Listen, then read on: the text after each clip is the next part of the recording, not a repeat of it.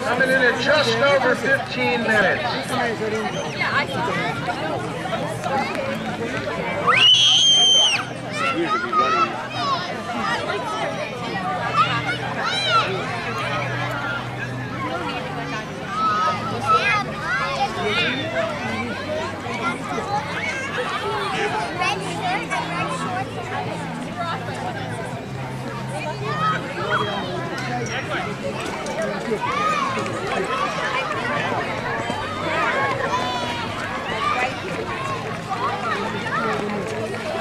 And here comes Steve Mennitt of North Brunswick, New Jersey. It looks like he will be our winner in this 23rd annual Minnesota 5K. Let's give